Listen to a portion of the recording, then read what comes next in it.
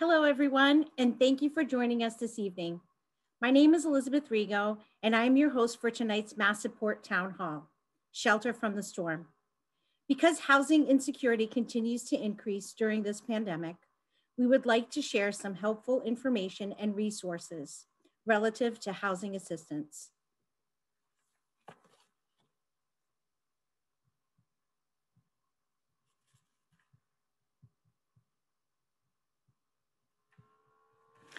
Really excited tonight to have some really interesting and informative panelists with us.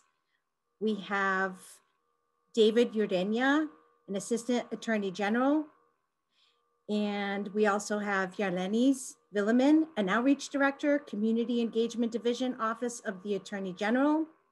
We'll also be hearing from Amy Mullen from RAFT and ERMA Program Overview, and our very own Colby Andrade for Mass Support.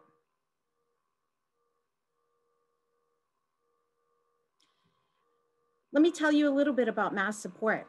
Mass Support is a crisis counseling program and it provides free, anonymous, confidential support, counseling resources, referrals to people of all ages in Massachusetts. We are also doing group services, consulting for organizations and businesses. We are educating on traumatic stress, resilience building, coping strategies, and more. We are made up of diverse teams statewide with approximately 54 counselors and clinicians that speak multiple languages. Mass support is funded by the Federal Emergency Management Agency, FEMA, and managed in partnership with the Massachusetts Department of Mental Health and Riverside Trauma Center, a service of Riverside Community Care.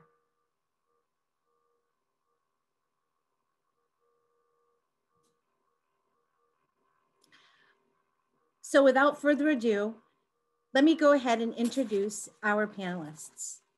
Yarlenis Villemin is an outreach director within Massachusetts Attorney General Maura Healey's community engagement team. Yarlenis has worked on issues and educational campaigns ranging from workers' rights, landlord and tenant rights, immigrants' rights, and everything in between. Yarlenis holds a master's in public administration from Suffolk University in Boston, Mass, and a Bachelor of Arts from College of Holy Cross in Worcester, Massachusetts. David Ureña is an Assistant Attorney General in the Civil Rights Division of the Attorney General's Office. Before he joined the Civil Rights Division, David worked with immigrant worker communities in New York City as an employment lawyer. Thank you so much for being here with us.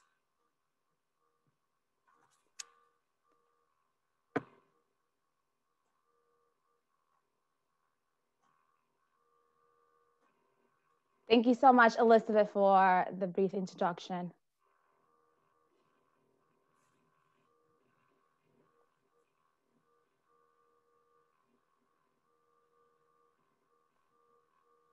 Good evening, everyone, and thank you again, Mass Support, for organizing this amazing event and for inviting um, our colleagues from the Attorney General's office to present on today's important topics on landlord and tenant rights. As Elizabeth mentioned, my name is Yarlenis Villemin, and I'm an outreach director in the Community Engagement Division. It is a pleasure to be here today. And I'm also here with my colleague, David Ureña, who's the Assistant Attorney General in the Civil Rights Division. Before I give the platform to my colleague, David Ureña, I'm just gonna give you all a little overview of our office and what we do, where we're located, and how we can continue to serve each and every one of you.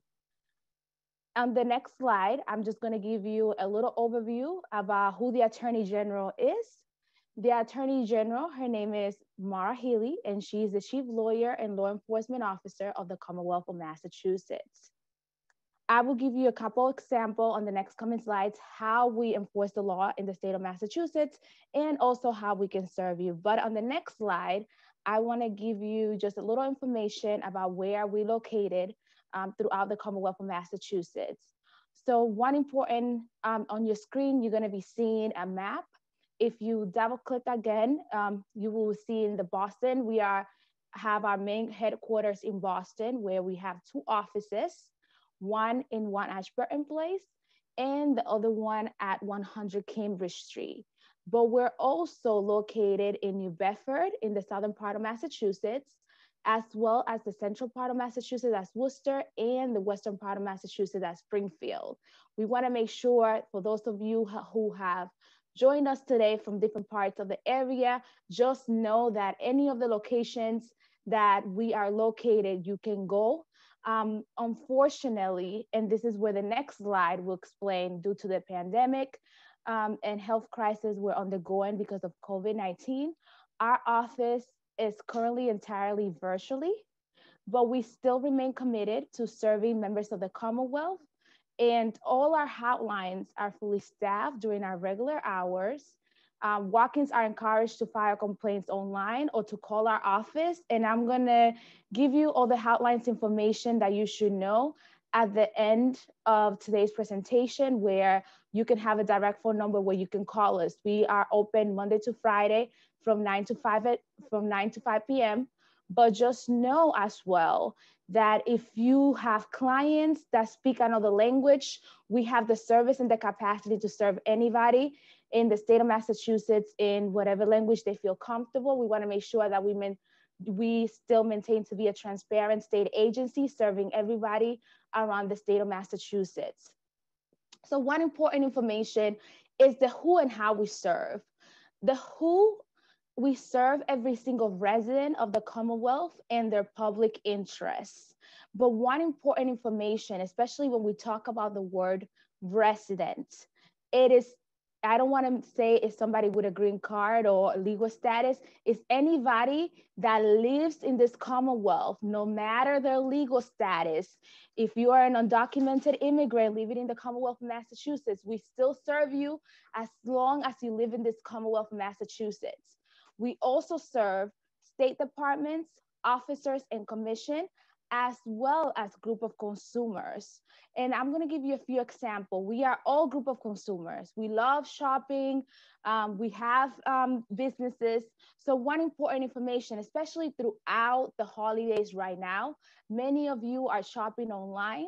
And let's say, for example, that you buy the newest electronic device right now, but the store you purchased that device um, gave you a deceptive product that does not work and you have issue getting a return policy or getting back hearing back from that particular store that you potentially bought online. If you have issues like that as a consumer we can help you and assist you. If you need help with any healthcare um, questions we can help you as well. Or if you're a worker and you have uh, clients who are workers right now to have questions about the earned sick time or the minimum wage or their employer hasn't paid them what they're supposed to, please urge them that they can call our office and we can help them as well. There are other consumer related um, issues that we can help and all our services are completely free. Now, there are four major ways that we work in our office. One of them is investigation. We do a, a lot of investigating work in our office, especially as it relates to um, workers' violation in the state. We do the enforcement part as well, especially as the minimum wage is changing. And next year, every worker who are who are being paid the minimum wage are supposed to be paid 1375. So one important information, we want to make sure that the laws are enforced here in the Commonwealth, that also the policy, we work with every elected official throughout the Commonwealth. We advocate on different type of legislation. We don't write the law, those are your elected officials. Um, but we also do the prevention part in our office, and this is where we are today. Our office, our division was um, created by the Attorney General herself during her first term to make sure everybody in this Commonwealth knew about the resources and services that we can offer and also know that you have rights. And this is the best way we can educate you, especially on today's topic related to housing. On the next slide, um, I'm gonna give the platform to my colleague, David Ureña, who works in the, under the Department of the Public Protection and Advocacy Bureau in our office.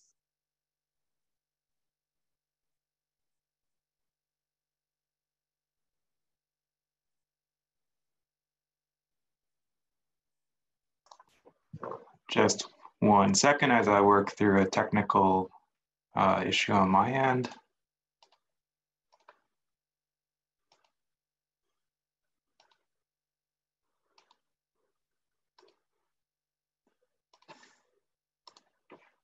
Great. Um, hello, everyone. My name is David Urena. I'm an Assistant Attorney General in the Civil Rights Division at the Massachusetts Attorney General's Office.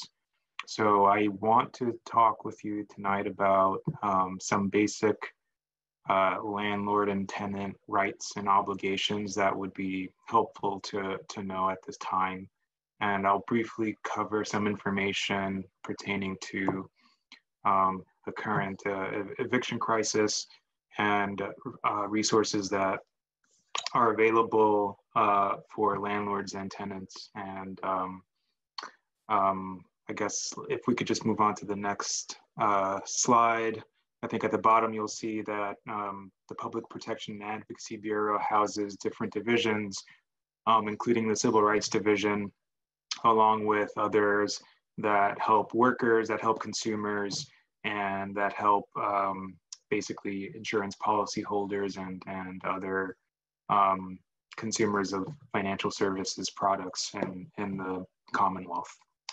On the next slide, we'll see, uh, and the slide after this one, we'll see that uh, there are some basics as far as um, the obligations um, for landlords and tenants. And this is the baseline that um, exists for every landlord and tenant relationship in the Commonwealth. So on the tenant side, um, this is something that most of us know. The tenant has to pay their rent and follow the rules that they agree to when they first enter um, that relationship with the landlord. And the tenant also has to um, accept responsibility for damages um, that uh, we describe as beyond normal wear and tear. And what this means is everyone knows that um, using a rental unit means that there is going to be some wear and tear um, to the unit. So, you know, the floors might get scuffed up, things like that.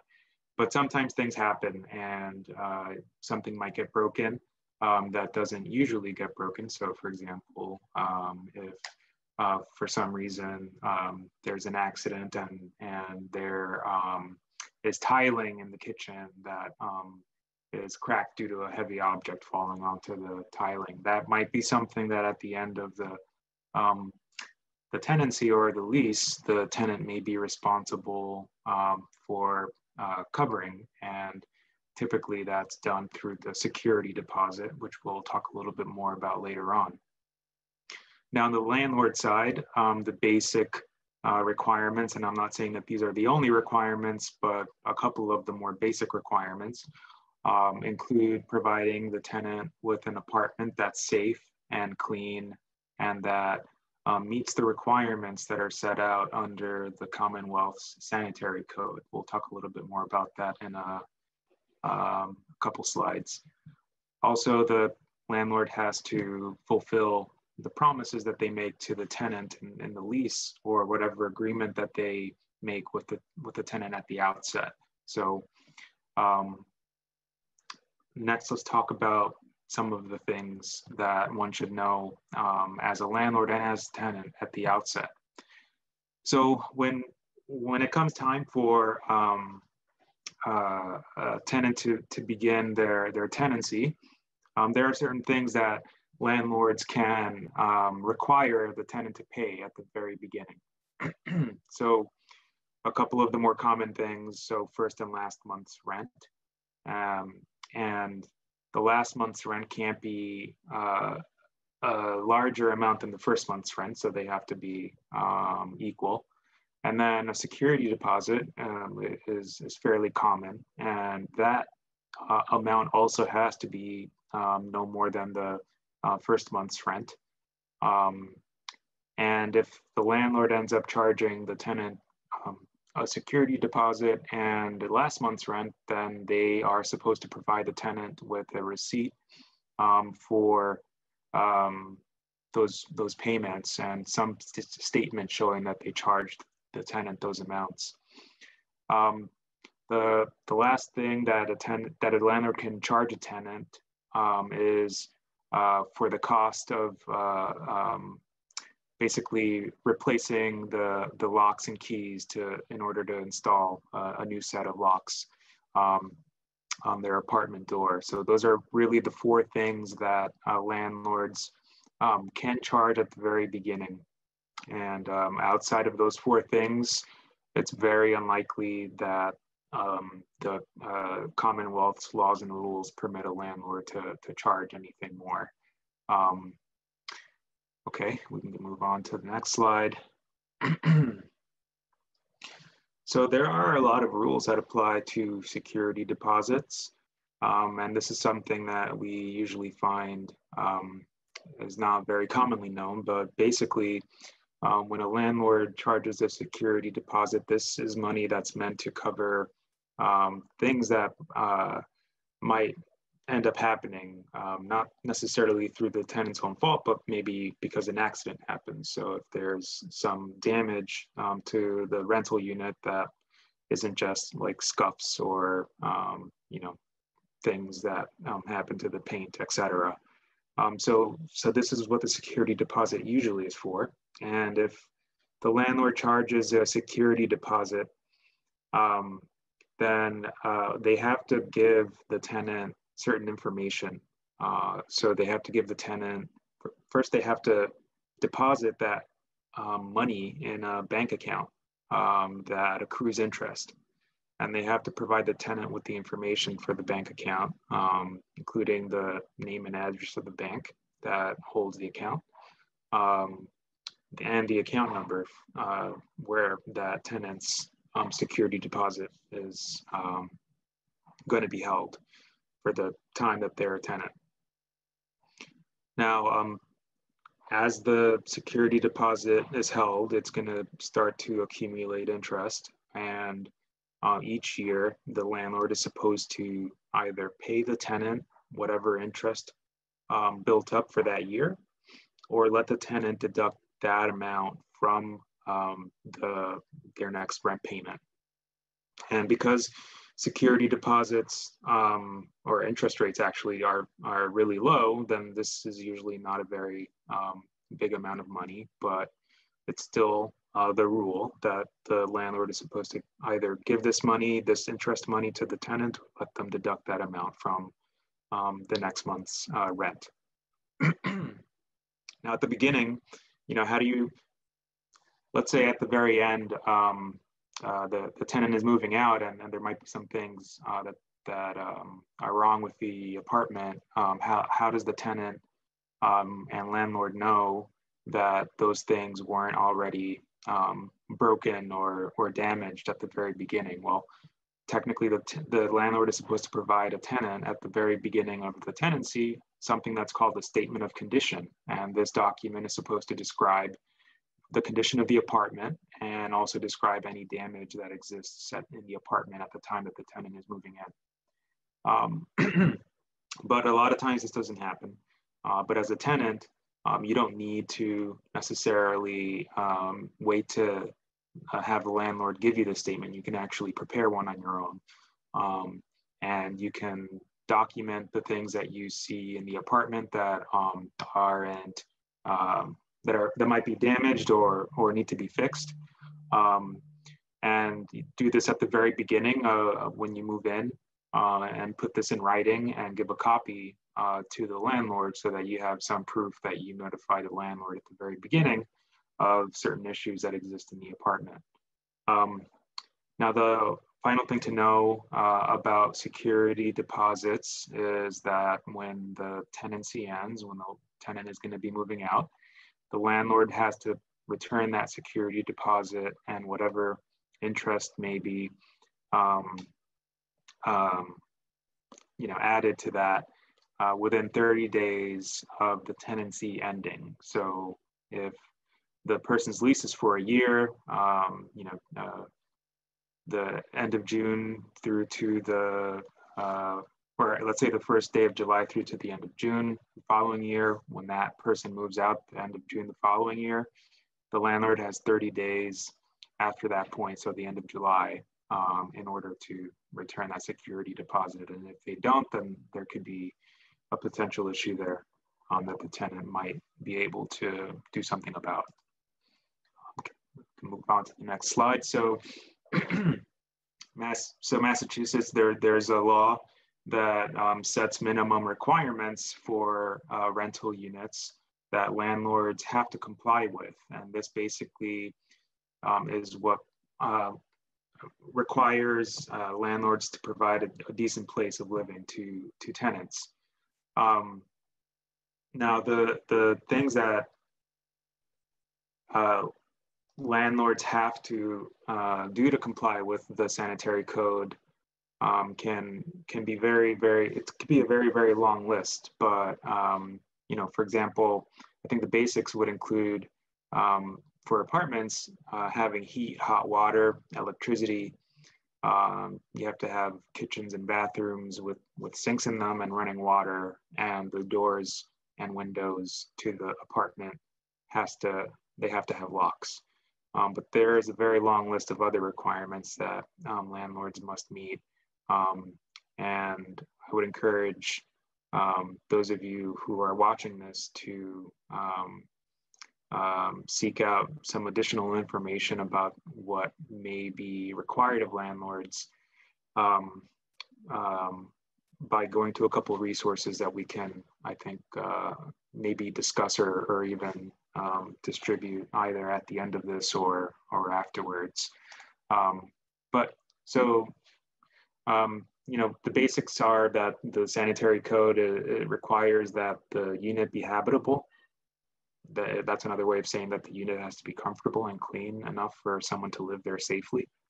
And if it turns out that there's a violation of the sanitary code, like for example, the doors and windows don't have locks, um, and the tenant complains about this to the landlord, um, the landlord maybe doesn't address the issue. At that point, the tenant can um, request their um, town or city's um, uh, inspectional services department or department of health um, to send an inspector out and uh, do an inspection of the rental unit to determine whether there are any sanitary code violations or not. If there are, then that inspector will issue a notice to uh, the landlord that lists what the violations are and gives the landlord a certain amount of time um, to fix the violations. And depending on the seriousness of the issue, uh, the landlord might have as little as 24 hours to fix the violation um, or um, even uh, um, up to 30 days to fix certain violations. It just depends on the seriousness of the violation.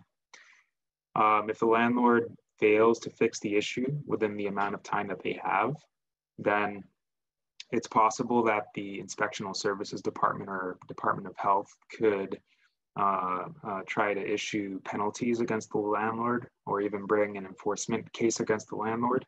It's also possible that uh, the tenant could be able to withhold some rent to account for um, the violations that exist in the apartment. Um, because if there are sanitary code violations, then arguably um, the unit is not uh, necessarily um, worth the rate that the landlord is charging the tenant at the very beginning, which is like the market rate. Um, one thing that everyone should be careful about, though, uh, if this is a situation you find yourself in, is to make sure to go over this with an attorney if you can before withholding rent, because if you um, fail to make your full rent payments, this could be a violation of your lease, and a landlord could um, technically uh, uh, start um, eviction proceedings because of the of the lease violation. Uh, we can move on to the next slide. So um, there was a eviction moratorium in place um, in Massachusetts, but that expired on October 17th. Um, and currently there is a federal uh, eviction moratorium in place that covers certain tenants um, who are impacted by COVID-19. Um, and that is in place through at least December 31st, 2020. It's possible that the CDC could extend this. Um, it's possible that it will expire on December 31st. but part of the requirement for a tenant to be protected under this um, moratorium is that they have to provide a, a, declaration to their landlord. And, and this is a form that you can find online uh, along with other information about um, the different uh, requirements that you have to meet in order to be eligible um, to uh, be covered by this moratorium. Um, but the thing to keep in mind is that this moratorium is really meant for people um, who have been financially affected uh, by COVID-19, either because um, you know they were laid off, lost employment, um, you know they had hours cut, or they have um, had to pay significant medical expenses um, in connection with uh, the pandemic, things of that nature. So if if those kinds of uh, um, you know losses uh, don't don't apply in someone's situation, um, then um, it, it's in the tenant's best interest to continue to keep paying rent if they're able um, to do so. Um, so this is just, next slide is another slide reinforcing this, um, that um, sort of uh, information that, that the moratorium, um, even the Massachusetts moratorium that expired, but uh, the, under the CDC moratorium, this, this doesn't mean that a tenant is not obligated to, to pay their rent. The rent obligation continues. Um, uh, it's just that if the tenant is unable to pay their rent because of these reasons, that the landlord is um, not able to um, uh, evict them physically um, until after the, the moratorium is, is over, assuming that they have a court order giving them permission to do so. Um, uh, just because a tenant uh, can't pay rent and can't get evicted doesn't mean a landlord can't try to do things to uh, recover the uh, rent owed landlords can still bring cases in civil court um, to try to get money from um, the tenant, and that's different from eviction cases, but we won't be really getting into that tonight. Um, but I think if, if you find yourself in a situation where um, you've been impacted financially by COVID-19, you should be sure to notify your landlord uh, within 30 days of missing your rent payment, and you should seek out help um, to uh, access resources that might be available to you to help you either pay rent or to help you avoid um, eviction if, if you're unable to pay rent and um, and the resources other resources resources available to you may, are are not sufficient. Um, we're, we're trying to encourage landlords and tenants to try to work out payment plans that will allow um, tenants to remain housed and that will also um, you know get landlords the rent that they um, are, are due under their uh, leases with tenants. Um, next slide. Um, this will be covered in, in more detail later on, so I don't want to spend much time on this, but um, you might have heard that you know, the governor uh, ha has uh, put up a, a, eviction diversion initiative and funded it with $100 million to help families throughout the Commonwealth um, with rental assistance to help them pay rent that they might owe or, or can't afford to pay moving forward. Um, and this has made uh, uh, money available to households um, from 4,000 up to 10,000, depending on the household circumstances.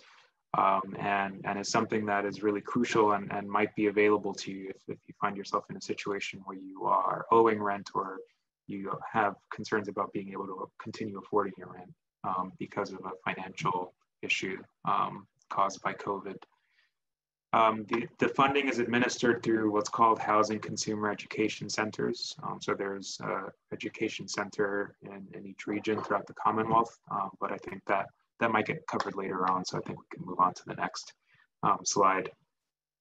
And I'll try to move quickly now because I know that we don't want to run over time. So retaliation um, the law prohibits landlords uh, from from taking um, some sort of negative action against their tenant um, in response to their tenant trying to um, you know assert their rights uh, uh, about something. So, for example, if a tenant has uh, lost their um, heat or hot water during the winter and the landlord isn't doing anything to fix the issue and the tenant decides that they're going to call their inspectional services department to get an inspector out and um, hopefully get the, them to, to require their landlord to do the fix. If the landlord um, doesn't like that and decides that they want the tenant out because they don't want to um, be forced to do something they don't want to do, um, and then they bring an eviction case, that would be considered retaliation, which is unlawful under the Commonwealth's laws and rules. so you can't be evicted for, for exercising your rights. There are various rights that you have as a tenant. Um, and I guess the bottom line is if you feel like your landlord is doing something in response to you exercising a right, um, you should try to speak with someone in case that is uh, retaliation and in case that's um, something that the law prohibits. Next slide. So um, eviction can be very scary. I, the bottom line and the takeaway here um, that, that I hope um, um, you all get is that it is really a, a multi-step process um, that doesn't happen um, overnight or even during, you know, over the course of one week. Um, there are various requirements that have to be met. Um, and until the landlord gets a court order uh, from a judge that gives them permission to evict someone from their rental unit, the landlord is not allowed to do anything to kick that person out. So the process begins with a landlord giving the tenant um, something that's commonly referred to as a notice to quit. This is basically just a letter that's telling the tenant that the landlord uh, uh, wants them out by a certain date um, due to certain, um, you know, either violations of the lease or um, maybe the lease is up and the landlord doesn't want to renew it. Um, once the tenant receives that, um, if if the uh, tenant doesn't leave by the um, date that the landlord puts in that notice to quit, then at that point, um, that doesn't mean that the landlord gets to kick you out. That only means that the landlord can now go to court um, and, and bring the case to get the court's permission to kick you out. So the landlord ends up filing um, a complaint uh, in the court and gets a summons and serves that summons on the tenant. Um, and that basically gives the tenant um, notice that there's been a case filed against them in housing court or maybe in district court. So at that point, once a complaint has been filed and served along with the summons on the tenant, the tenant has a certain period of time to respond um, to that complaint in writing.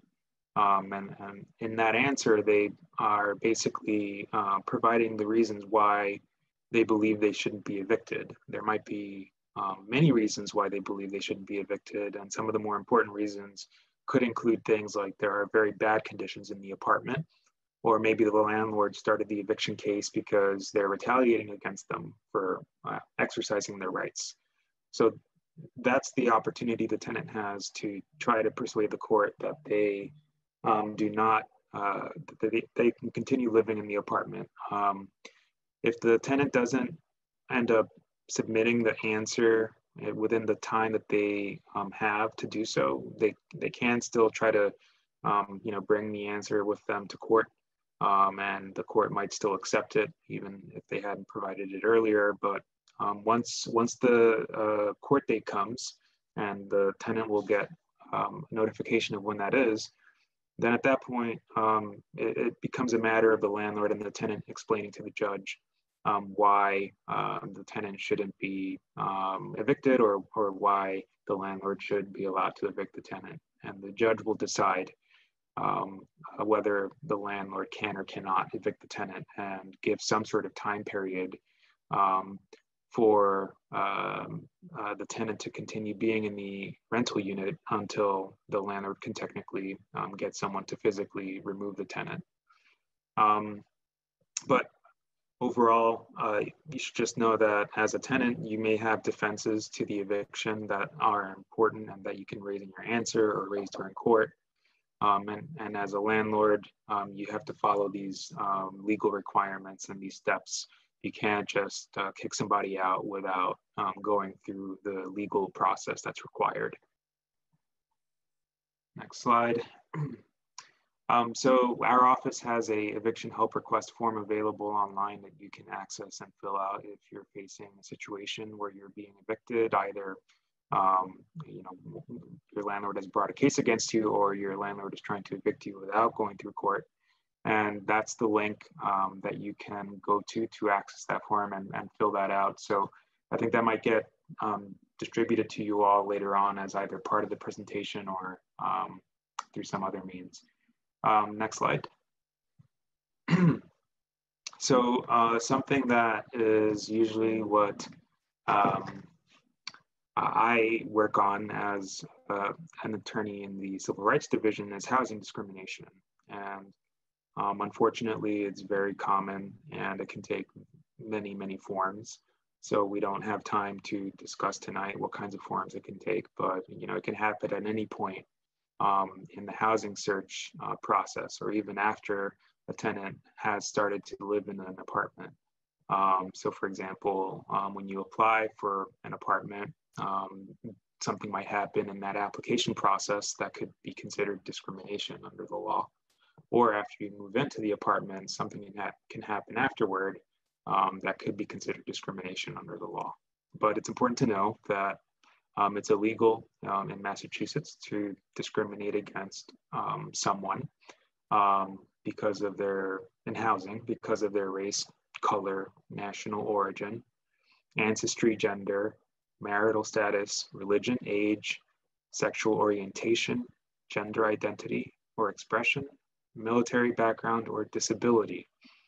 Um, and as I mentioned, discrimination can take many forms. It can be um, against uh, one particular tenant in a household of a few tenants. It could be against the household itself. Um, but the bottom line is that it's unlawful to um, do something, take some sort of adverse action or a negative action against uh, someone applying for an apartment or one of your tenants based on any of these listed reasons. Um, so one reason that's not listed here is source of income. So it's important to know that um, in Massachusetts, um, if you are, for example, a Section 8 voucher holder, um, or if you apply for and receive something like RAFT in order to help you with moving expenses or to find a new apartment or even to pay rent arrears, that it is unlawful for landlords um, and even real estate agents to discriminate against you based on those um, characteristics.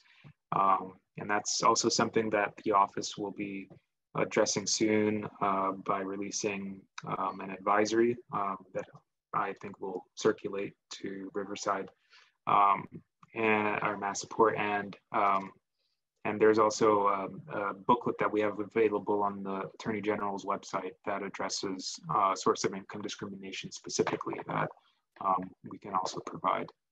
Uh, next slide. So just a couple left and then I can finish up. So housing scams, it's something that is very common, unfortunately. Usually this takes the form of, you know, someone searching for an apartment, sight unseen.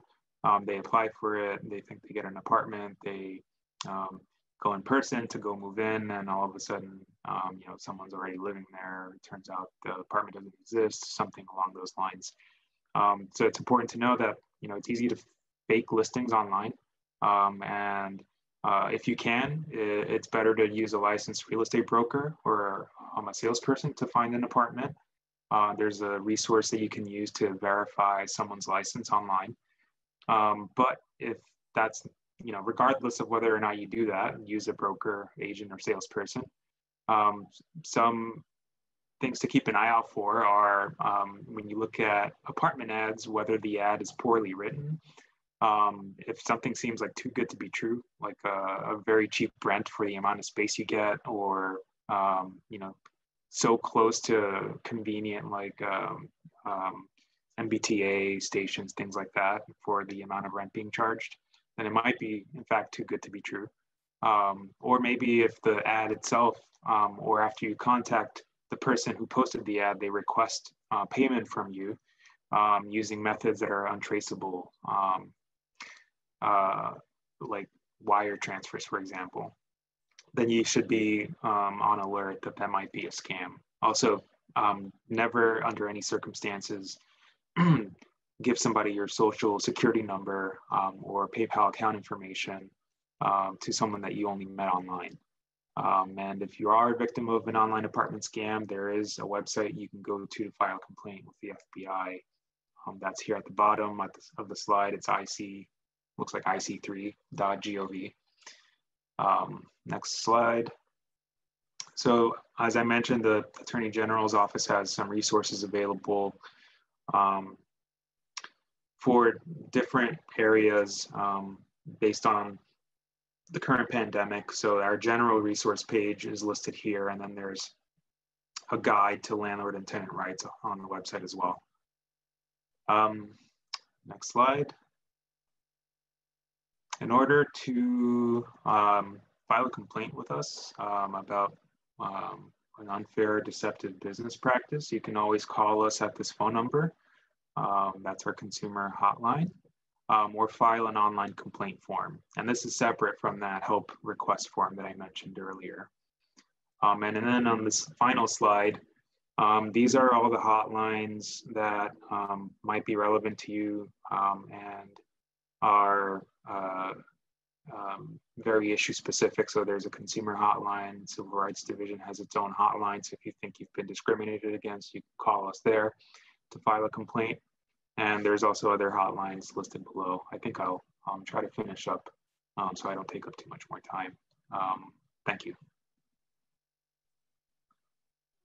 Thank you, David. I believe that's the last part of our slides. Um, just a few questions, um, David, some people had was, can a documented person apply for RAFT? And that is yes, um, they can apply for RAFT. There are no immigration restriction. And I know um, somebody from DHCD, which is the Department of Housing and Development, will be talking next a little more about RAFT. So this will be a great transition. And a, a last question somebody asked David was, what can happen if the tenant has a co-signer? Could the landlord kick the tenant out if the co-signer refuses to pay? Um, okay, so as to that um, last question about co-signers, um, I think that really gets to uh, whether or not there's rent owed, um, because if there is rent owed, then the cosigner is on the hook uh, for that rent. So if that rent isn't paid, um, then yes, the, the landlord can um, resort to eviction and get that tenant out of the um, apartment. Um, and as a cosigner, that, that person can be on the hook for any rent that's owed. So the landlord, if they decide to go after the tenant and the cosigner for for the money, um, and this is apart from the eviction, they can file a lawsuit in civil court to try to get a judgment against the cosigner and the tenant, um, and to try to uh, collect on that judgment um, uh, later on. Thank you so much, David. And I know at the end of today's um, presentation, there will be a Q&A section as well. Um, there are there was somebody that asked that they were looking to have more information for homeowners who, who have a hard time paying mortgage. Um, one important information for the person who asked that question is that on our mass.gov um, COVID-19 research page that David mentioned, you can have a section there that, that has some resources, especially for homeowners as well. So thank you everyone, and I'll leave the platform to the next presenter. Thank you so much, Yarlenis and David, for that very pertinent information. Um, next, we are going to hear from Amy Mullen. Amy Mullen is the program director for the RAFT and home-based programs at the Department of Housing and Community Development. She joined DHCD in 2016 after previously working at two other local housing nonprofits, Metro Housing Boston and Heading Home. Amy earned her Master of Public Administration degree from UMass Boston in 2019. Welcome, Amy. Hi, good evening, everyone. Thank you, Elizabeth. Um, thank you to Mass Support for hosting this town hall um, to make sure this important information gets out to everyone who needs it throughout the Commonwealth. Um, thanks to everyone who's listening today for joining us. I'm going to talk about two emergency rent and mortgage assistance programs, RAFT and ERMA. ERMA is a new program, um, whereas RAFT is an existing program that's been expanded um, during COVID. And like David mentioned earlier, both programs are part of the Baker Polito administration's eviction diversion initiative. Um, so tonight I'm going to talk about eligibility for both of these programs and how tenants, homeowners, and homeless households can access them. So um, RAFT is a program that's been around for a while. Um, many people may already be familiar with it, but if you're not, um, it's a program that pays up to $4,000 in assistance to prevent homelessness. It, um, as of recently, as of about two months ago, um, we can also pay up to $10,000 to prevent eviction for renters who've experienced a financial hardship related to COVID-19. Um, but that's not the only group of people who can access RAFT. It's still open to everyone who qualifies. Um, and RAFT serves households with income up to 50% of the area median income, or the AMI. Um, and it actually goes up to 60% AMI for households at risk of homelessness because of domestic violence. ERMA is a new program that launched on July 1st in response to COVID and it is similar to Raft in a lot of ways. Um, the big difference is that it helps people with slightly higher income than Raft. Um, so Raft goes up to 50% AMI. Um, ERMA can actually serve households with income between 50 and 80% AMI. So it goes up quite a bit higher to try to reach um, folks with a little bit higher income who still um, need some assistance and that's for renters or homeowners, as is RAFT. Um, so I know there was a question earlier about, you know, is there assistance for people who are behind on mortgage? And RAFT and ERMA can help in both of those situations um, if the homeowner has low to moderate income under these limits. Um, applications for assistance go through the regional administering agencies or the RAAs which are 11 nonprofits throughout the state who contract with DHCD to administer the programs in their regions. Um, and I'll just know I'm not going to get into these, but many RAAs administer other local or private funds as well.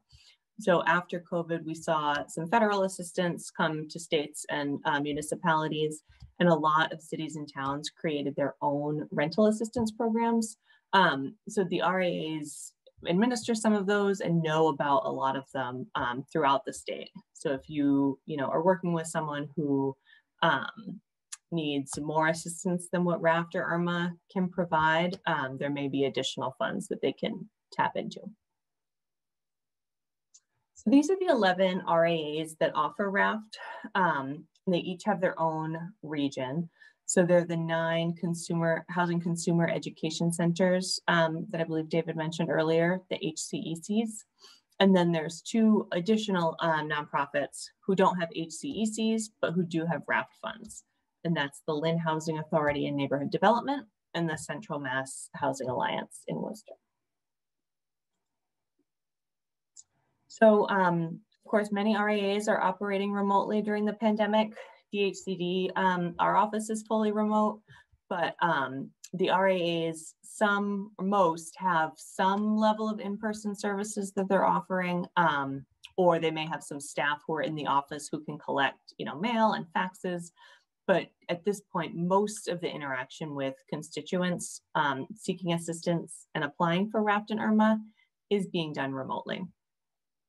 Um, so related to that, each RAA's website is really the best source right now of information about how to do a RAFT application or get in touch with someone, um, a housing counselor or a case manager to talk about their situation.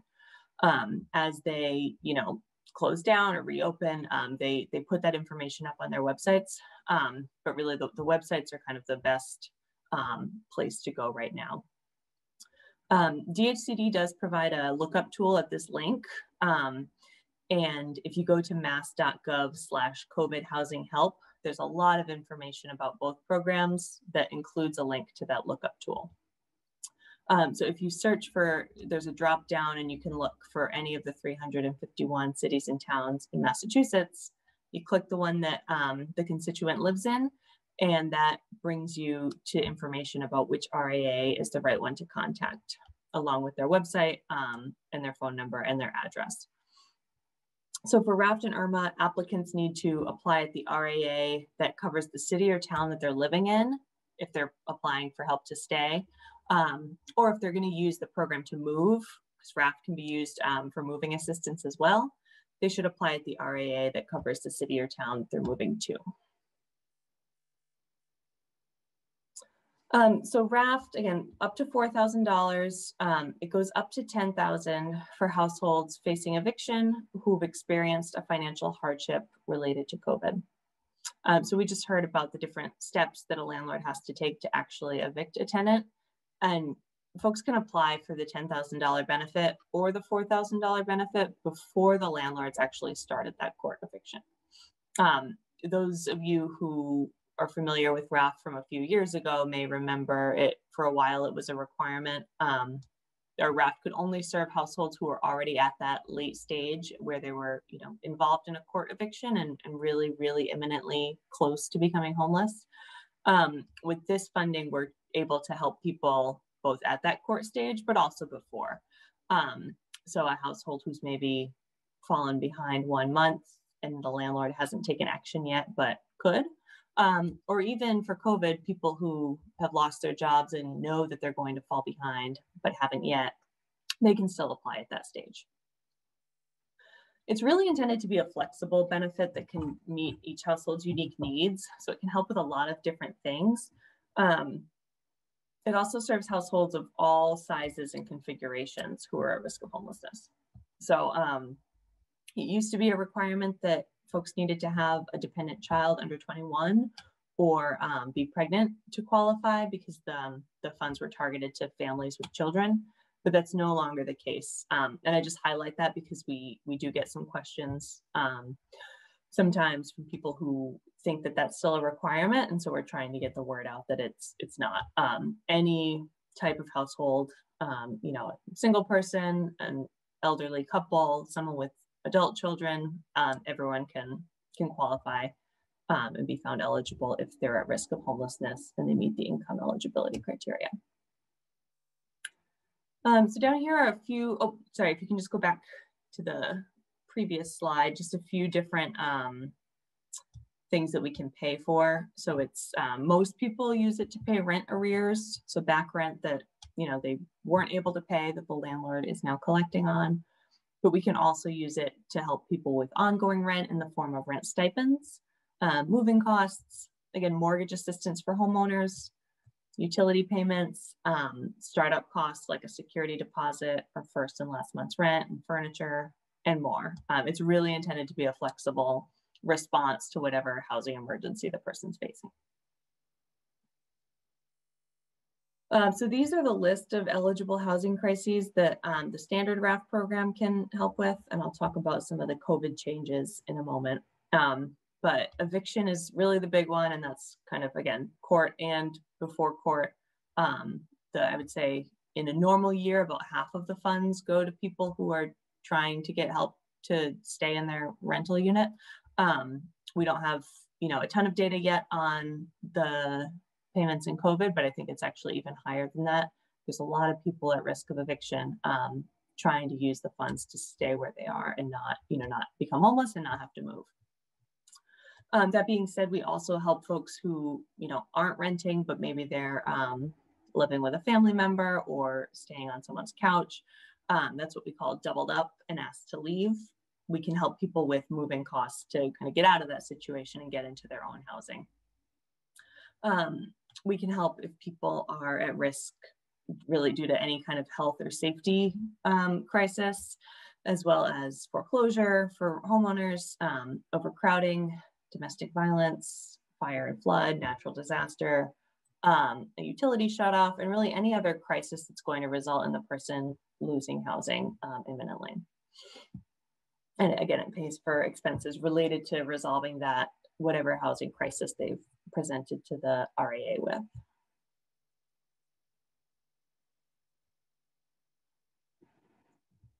Go to the next slide.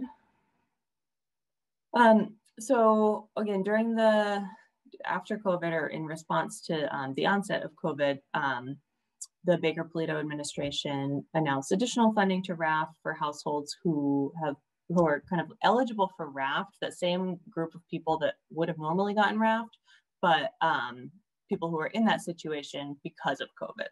And so that could mean a lot of different things. I think the most common is, you know, someone whose um, workplace was shut down, maybe a restaurant worker suddenly lost hours and was no longer able to pay the rent. but it could also be, and we've had applications from people who, um, you know, with their kids at home all the time now doing remote schooling, their grocery bill has gone up and their money's going to groceries instead of rent. Or, um, you know, they had to buy new Chromebooks because the kids' schools didn't offer them for, for remote learning. Um, there's a lot of different ways that COVID has impacted people financially.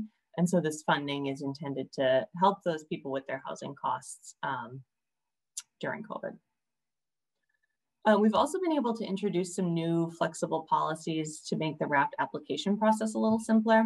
Um, and these apply to all types of RAFT, not just the, the funds that are set aside for um, COVID situations. Um, so we were able to relax some of the requirements for documentation. Um, households no longer need to show their social security cards or their kids' birth certificates. We can take just an ID from the head of household.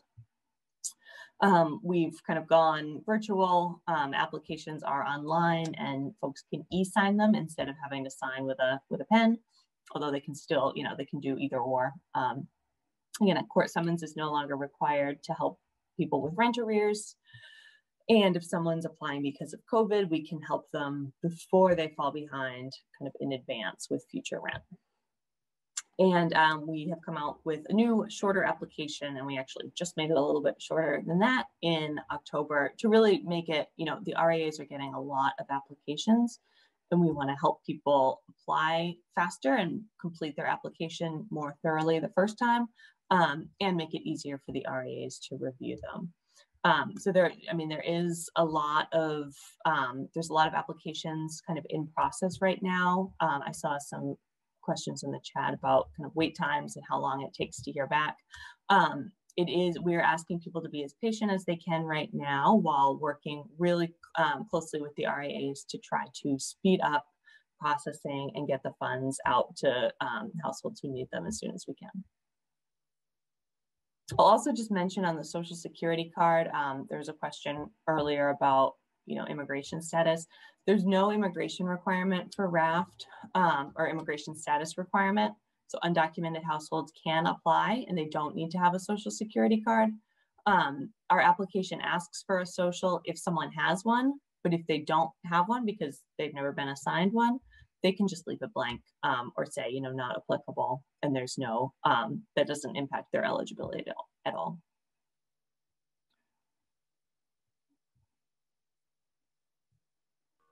Um, next slide, please. Great. Um, and so as of October 19th, just about two months ago, um, we introduced the higher benefit above $4,000. Um, so tenants at risk of eviction are now able to access between 4,001 and $10,000 if they meet these three criteria. Um, so one, they their financial hardship is related to COVID in some way. Um, Two, the payment above 4,000 will keep them stably housed for at least six months um, or until the end of June for households with school age children, whichever is later. But now that we're coming up on January, those two things are, you know, effectively the same. Um, but we're looking, if we pay off this higher benefit, it's got to pay off in that it keeps the household there for at least six months. Um, and the tenant um, is required to pay at least 30% of whatever their income is at the time of the application toward their future rent. Um, and RAFT can kind of help with that if the rent's not affordable on their current income. Um, that's just for people in market rent housing. People in subsidized housing, of course, their subsidy will will help pay with the rent or pay for the rent. So um, we would just pay for arrears for someone with a subsidy because um, they, you know, wouldn't need a stipend payment. And then um, some households are referred to RAFT by the courts um, or by community mediation programs, in which case the mediator might work on that agreement between the tenant and the landlord. Um, but if someone isn't working with a mediator, the RAA can um, either negotiate an agreement with the tenant or landlord, or they actually have the ability to refer out to the community mediation centers if, you know, it's a tough relationship with the tenant and landlord or you know they owe so much money that there's going to have to be a, a, pretty substantial agreement. They might refer that out um, to someone with you know a little more formal mediation experience. But um, some of those agreements are being handled in-house with the RAA as well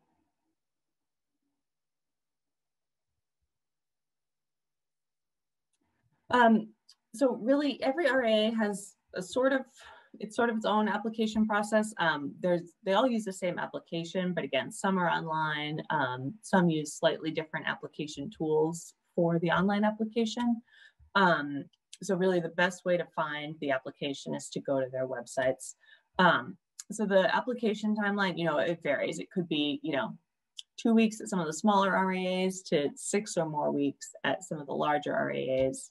And that really depends on a lot of different things. Um, you know, how complete the file is when it comes in, um, if the person uploaded all of the requested documents with their application, um, how responsive the landlord is. You know, there's a lot of moving pieces to a RAFT application um, and an ERMA application. Um, but again, we are working really closely with the RAAs to get these response times down as quickly as we can, um, especially as we near the end of the CDC moratorium. And I think I heard that we're um, holding questions till the end. Sorry, this is a slide from a different presentation, but um, yeah, thank you all very much. Thank you so much, Amy. So actually, we're gonna we're gonna go ahead and ask some questions right now, if that's okay. Okay. Yeah. Um, there was a question that came up. Um, can you be denied RAFT if you have back rent owed? Um, potentially that wouldn't be kind of the reason for denial but um, people can be denied for RAFT if they're over income although in that case they might just be referred to ERMA um, you know if their application is not complete or if their landlord refuses it so we have seen unfortunately some cases where someone owes you know well over $10000 and RAFT isn't going to be enough to stop the eviction um, in those cases the person could possibly be denied for um, you know, because the payment wouldn't kind of solve the eviction if the landlord's not going to forgive the rest of the rent. But um, the person could potentially use RAFT instead to move to a different unit. Um, so that there's options there. But um, yeah, owing back rent um, in most cases would would help um, someone qualify. Thank you so much. There was another question that came up um, on you know, if someone has a co-signer um, and they need some help um, with RAFT, um, would that be um, an issue? Um, what happens when a tenant needs help but has a co-signer on the lease? Do they not get help from their from these programs? Can they can they receive help? Yeah, if they've fallen behind um, and they owe the rent, they could they could qualify. Yeah, we wouldn't. The RAs wouldn't really look at whether or not there's a cosigner on the on the lease. Okay. And let's see. Um, it's another question here. Um, if an individual is currently unemployed with no income, could they still be eligible for the 4,000 to 10,000 assuming that the additional amount would be enough to stabilize their housing for six months? Or would the individual have to themselves prove sustainability by having a certain amount of income to pay for part of their monthly ongoing rent at time of the application? So um, what we need to see for that higher benefit is that yeah, that the housing will be stabilized for six months. So that could be um, a combination of RAFT payments or tenant income or a combination. Um, so yeah, I mean, if $10,000 will pay for their back rent and their rent for six months, then um, that's fine as long as they're, if they do have income, as long as they're paying at least 30% of their income towards the rent. Thank you. And one more question. Can a landlord apply for RAFT for a tenant that owes back rent and get the money paid for that back rent? Yes, actually. Um, thank you for that question because I should have mentioned that. Um, we just launched a landlord application at each of the 11 RAAs. Um, it's a, we're calling it the landlord door. It's a separate way for landlords to apply if their tenant, for whatever reason, can't or you know won't. Um, it's only open to small landlords uh, who own 20 or fewer units, and the tenant does have to sign a consent form. So it's not Um, you know, it's not something the landlord can do on their own without the tenant's input. But if the tenant consents and says, you know, it's it's easier for whatever reason for the landlord to fill this out for me and go through the process than me alone doing it, um, the landlord now has that option, and that's available on each RA's website. Good to know. Thank you so much. Uh, one more, and then we will move on.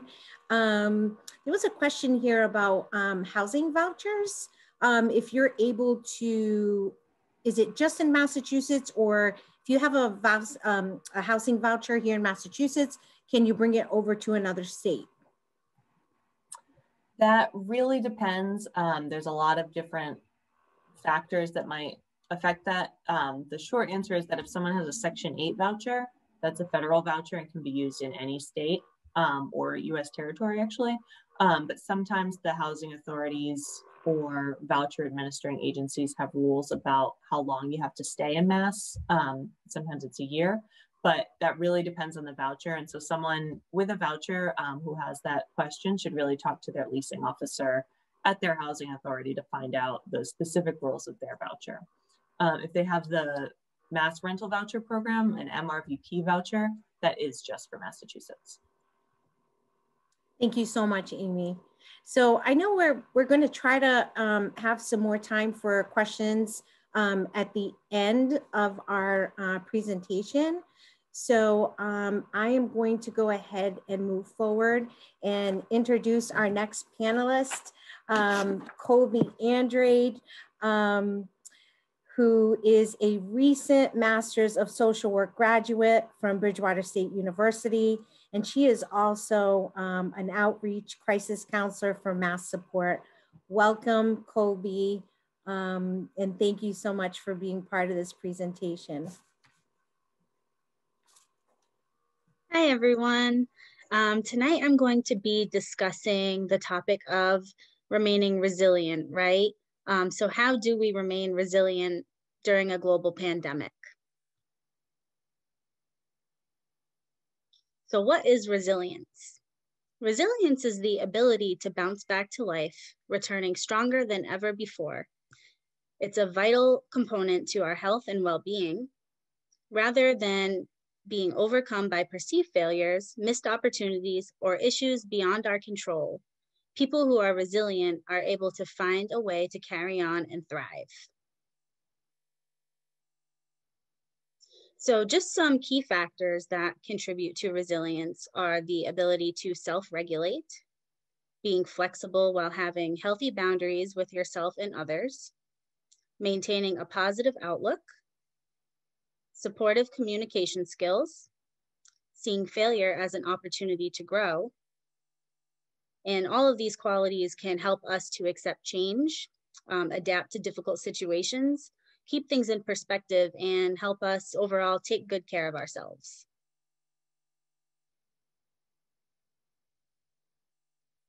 Being resilient doesn't mean that you never feel discomfort or experience distress or heartbreaking life events. In fact, often the road to resilience is paved with adversity, trauma, and a great deal of emotional dysregulation. It's important that we develop strategies and relationships that sustain our overall well being and capacity to build resilience when met with challenges. I'm going to talk a little bit about um, the three R's of self care reflection, regulation, and relaxation. So, reflection. What is reflection about? So reflection is really just noticing your reactions and patterns um, to situations. And this can allow us to plan for how to engage in some intentional self-regulation and self-care. Reflecting on what you and the people around you are doing and systems you're working with, your relationships with them, and what support that you might need is a vital part of reducing the impact of stress planning for how you can healthily cope with the impact of toxic stress. Regulation. So regulation is about the way that we choose to respond in the moment when we start to experience a stress response. Remembering that the people around you are also experiencing intense levels of stress right? We're all in this pandemic together. Someone, um, everybody is affected by this in some way or another. And we may all have strong emotional reactions, and those um, strong emotions are contagious. So it's important to know what our own trigger points are and what upsets us, what activates you, what sort of makes you feel like you're experiencing that stress. And really practicing catching and releasing your own defensive reactions, and then having some compassion for any self protective tendencies. Most of all, noticing when you are reacting, stopping to take some time to calm yourself down when you get angry or hurt, asking for help, and debriefing uh, with your supports when necessary. Relaxation is about keeping yourself strong and balanced, finding some balance in your life, making time for yourself to relax and play, whatever that means for you. Maybe you like to play a board game with your household members. Maybe you like to binge watch some Netflix, do yoga or meditation. Maintaining that social support system. So, FaceTiming with friends if you can't see them, um, calling people on the phone, writing a letter. Maybe you do a Zoom game night or a Zoom movie night. And your sense of humor, um, laughing a little bit, doing things that make you feel at home with yourself. And just remember to be gentle, patient, and realistic with yourself as we're all in this together. And if anyone has any questions. Colby, thank you so much for that. So important for us to, um, you know, have those three R's and and you know manage um, and and have some coping strategies throughout this really difficult time. So thank you so much for your presentation.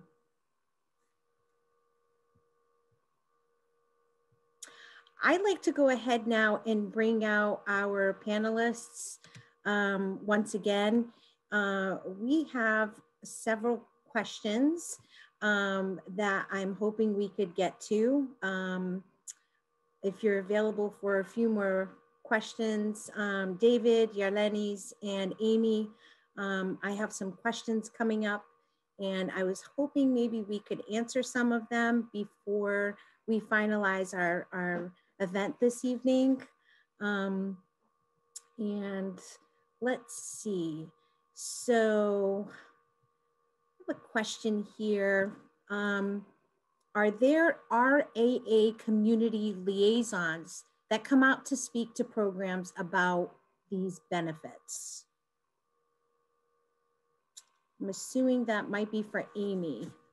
Yeah, um, so all of the RAAs do some level of, um, you know, education and information in the communities, um, outreach. They don't um, it probably looks different at every RAA, but I would say if you, you know, are looking for um, a presenter in your specific region, to yeah, maybe reach out to that um, and see what they can offer in terms of having someone come out. Thank you so much. Um, another question, can people on disability apply for RAFT?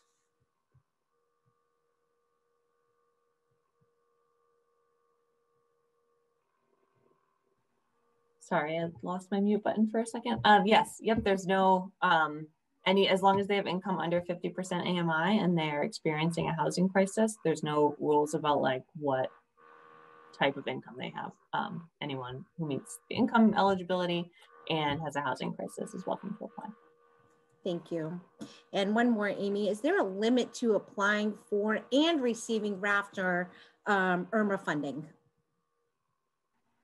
Yep. So RAFT is um, 4,000 or up to 10 for this for COVID um, under certain circumstances, and then ERMA is four, and that's in a 12 month period. So you know someone could hypothetically get $2,000 in RAFT now and come back in six months and get the other 2,000. Um, it doesn't have to be kind of all at once, but um, once they hit that limit, they are, um, you know, they can't get more until the year has passed. Thank you so much. Um, we have another question. Is ERMA available to people who are working full-time, but their income isn't enough to afford an apartment? And they need to move out as a result of COVID. So ERMA cannot be used to help people move, but it can be used to keep them in their current housing. Um, so it can pay rent arrears or rental ongoing rental stipends, um, and it can pay mortgage arrears or ongoing mortgage stipends. But um, if they're looking to use RAFT or to, to get funds to move, they'd have to access RAFT instead of ERMA. Thank you, Amy. I think this question might be going over to David or Yelenis. Um, the question is, I have a client whose apartment burnt down and him and his family are now homeless. And the landlord states he's not responsible for finding him a new place. What exactly are his responsibilities to his tenants?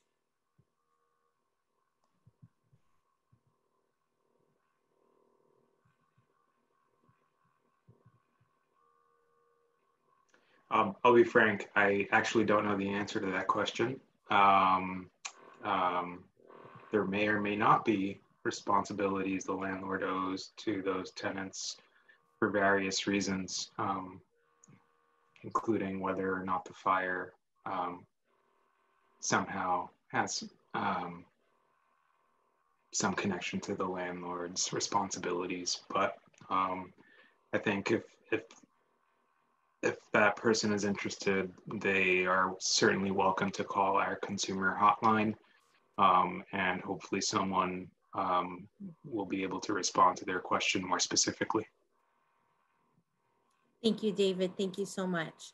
I want to let our, our um, viewers, our audience know that uh, we do have um, our team for mass support who is behind the scenes and putting um, these um, resources out online. And uh, we will be giving you some more information before the end of this presentation on um, how to get in touch with MassSupport as well. If you have any other questions um, that we're not going to be able to get to tonight. Um, but before I do that, let me just be mindful of the time. Um, someone is asking, hi, how do I apply? Amy, um, I think there was a um, resource online on how to do that, correct? That was on one of the slides. Yep. Um, if you go to mass.gov slash COVID housing help, there's information as well as a um, resource lookup tool where you can find out which RAA to go to. Thank you so much.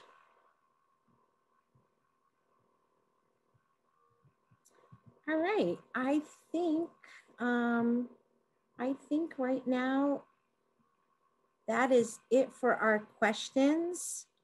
And um, I would like to go ahead and also give out some resources. Um, we know that this has been a really difficult time um, with COVID. And so um, MassSupport um, would like to go ahead and uh, reach out these resources uh, to all of you uh, for 24-7 emotional support. Um, we do have the National Suicide Prevention Lifeline listed at 800-273 TALK, which is 8255, and the National Disaster Distress Helpline, 800 985 5990. And with MassSupport, our crisis counseling program, um, you can follow us on Twitter. Uh, you can follow us on Facebook at masssupport.org. And our 888 number is 888-215-4920. Um, and the way that works, um, it is a um, free, anonymous, confidential line um, that any individual can call from eight in the morning um, to eight at night, Monday through Saturday. And the way it works is there is a voicemail there and one of our team leaders will be checking on that voicemail and someone from one of our teams will be getting back to you. Um, you can also reach us at mass support at riversidecc.org. I want to thank all the panelists for being here this evening. Thank you so much for sharing all that information, those wonderful resources with our audience. Um, it was very, very much appreciated that you took uh, time out of your busy schedules to be here with us. Um, and from all of us at MassSupport, we want to thank you immensely for being here. It was uh, a pleasure meeting all of you, and um, I hope to see you all soon.